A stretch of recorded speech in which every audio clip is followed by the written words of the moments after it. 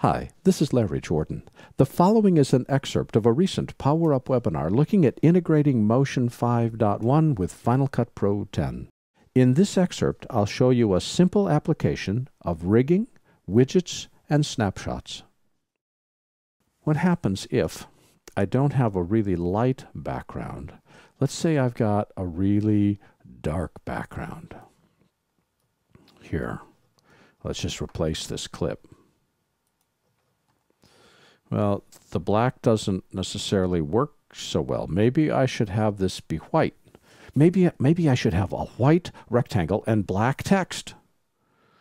Ex except I can't change anything except the published parameters.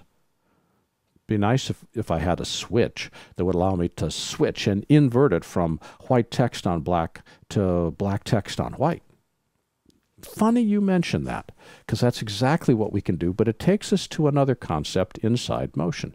That's open motion. And this is what's called a rigging and widgets because I want to change multiple parameters at the same time. I've published its vertical up and downness, that's a single parameter. I've published the opacity of the rectangle, but I want to change both the color of the text and the color of the background. I can't do that with a single setting. I need to create what's called a rig. So here's how this works. You go up to the object menu and you say new rig. Rigging is always listed at the top. There's the project, there's lights, there's cameras, there's rigging. They're always at the top and then you've got your effects below it. When I select rig, there are three types of widgets that we can create. A slider, a pop-up menu, and a checkbox. The checkbox is the easiest, so we'll do that first. I'll show you a slider in just a second. Click on checkbox, and now it says we want to create a checkbox.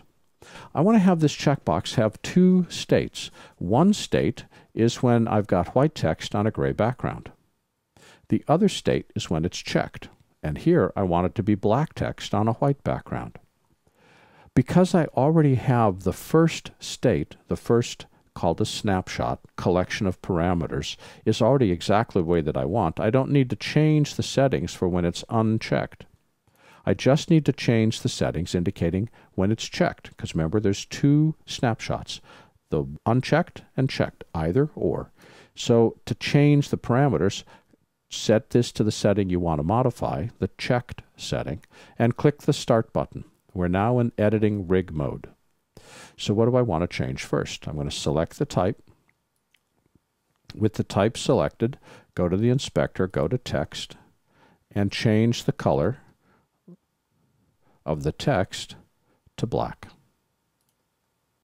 And because I don't want a drop shadow on black text, I'm going to turn the drop shadow off. And let's see, I want to change the color of the rectangle to white. So select the rectangle, change the color from near black to white. Then select our project at the top, go to the inspector, project, and when this setting is correct, I want the opacity of the white to be at 40%. And the vertical position stays alone. And now that I've made all of my changes, I've changed the color of the rectangle, I've changed the color of the text, I've turned off the drop shadow, and I've changed the opacity, I say stop rig edit mode, which means record all these changes. Let's go back to project and let's test them. Inspector, project. Well, what happened? It isn't there. That's because we forgot to publish the checkbox. So go to where it says checkbox, Go to the right-hand side, click the downward pointing arrow, and select Publish. You have to publish it. And the easiest way to see if you got all your switches correct is to select the project layer up here, Inspector, Project, and there's our opacity. There's our vertical position, and double-click checkbox, and let's just type the word invert. Press Enter to make it stick. What's it look like when it uninverts? Look at that. Look at that. All I'm doing is switching between snapshot 1 and snapshot 2. I want that to be the default. Notice that my opacity is set to 60% on snapshot 1, 40% on snapshot 2. It remembers that opacity setting. So we'll leave it just like that. Go up to File, select Save, switch over to Final Cut. Remember, it doesn't change any effects that are applied to your timeline, just the new ones. And there is the white on black. Select it, go up to the inspector, title, click on invert. Ta-da! Is that not cool? We have now got the ability to create our own effects and bring those commands, those, those controls, over from Motion directly into Final Cut. I still have opacity control. I still have the ability to slide this up or down by grabbing the vertical position. Maybe I want to add it up here because it's out of the way of the action down there. And I can invert it and see which one of these looks cooler for what I need to do. Well, once I've created it, this is inside the browsers.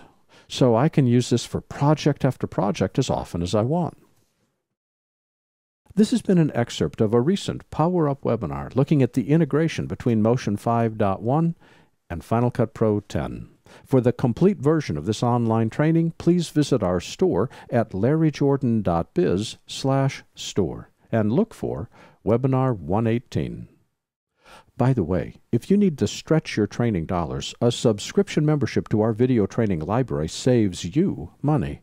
You can access all of our videos for a low monthly price of only $19.99. That's more than 700 movies, dozens of hours of training, all in depth and all up to date. Plus, members can attend any of our Power Up webinars for free. Our training covers Apple and Adobe software. We update it every week, and for more information, visit larryjordan.biz slash subscriptions.